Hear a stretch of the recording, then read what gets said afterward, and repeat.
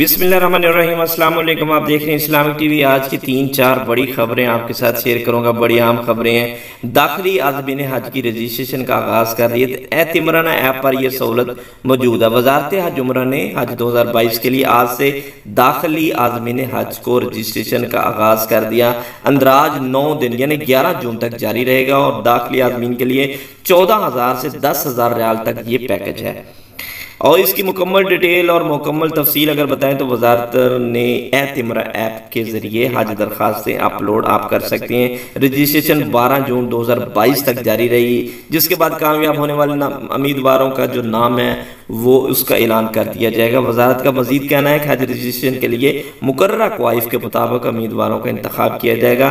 Twenty four وزارت حج کے حوالے سے حج رجسٹریشن کے لیے اعتمرانہ ایپ پر فراہم کر دی گئی ہے اور داخلی حاضمین کے لیے تین کیٹاگری مقرر کی، جن میں سے مینا ٹاورز اور ضیافہ ون اور ضیافہ ٹو شامل ہے۔ ضیافہ پیکج میں وہ خیمے مخصوص کیے گئے ہیں جن کا معیار ہوٹلوں سے فراہم کی جانے والی خدمات کے مساوی ہوتا ہے۔ اس سال اندرون بیرون ملک سے مجموعی طور پر دس لاکھ کا کوٹا مقرر کیا گیا ہے۔ وزارت کی جانب سے حج کے لیے زیادہ سے زیادہ پینسٹھ سال کی عمر اور کرونا ویکسین کی شرط بھی اس میں لازم ہے اور بہتر گھنٹے پہلے آپ کا ویکسین، جو پی سی آر ٹیسٹ ہے، اس کی رپورٹ جو ہے وہ نیگیٹو ہونی چاہیے۔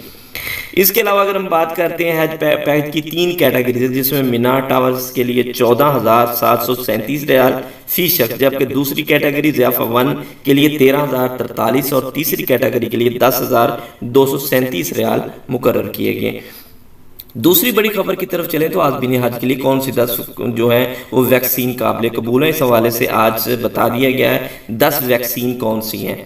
جس میں فائزر دو خوراکیں میڈورنا دو خوراکیں اسٹرازینکا دو خوراکیں، جانسن ایک خوراک اور کوفو میکس دو خوراک، نووی نوویکسومیڈ جو ہے دو خوراکیں سیو فارم دو خوراکیں سائنووک دو خوراکیں اور کو ویکسین دو خوراکیں اور سپورٹنگ دو خوراکیں قابل قبول ہوگی۔ یہ تمام دس کی دس ہیں جو آپ لگوا سکتے ہیں اور اس میں سے کوئی ایک بھی لگوا سکتے ہیں۔ کچھ کسی کی ایک خوراک کسی کی دو خوراکیں آپ لگوانے پر ہی آپ کو حج کے لیے ایلیجیبل کیا جائے گا۔ آئندہ چوبیس گھنٹے کے دوران کرونا کیسز کی اگر ہم بات کریں تو اس میں کمی ہوئی ہے۔ تو وزارت صحت کی طرف سے آج جو جمعہ کو تین جون کو گزشتہ روز کے مقابلے میں کرونا کیسز میں کمی ہوئی ہے۔ گزشتہ چوبیس گھنٹے کے دوران سعودی عرب کی تمام ریجنز میں چھ سو باسٹھ نئے کیسوں کی تصدیق کی گئی اور اس طرح کل سات لاکھ ستر ہزار پچاسی ہو چکے ہیں اور اس ایک مزید ہلاکت کی تصدیق ہوئی ہے اور اب تک وائرس میں ہلاک ہونے والے کی تعداد نو ہزار باون ہو چکی ہے۔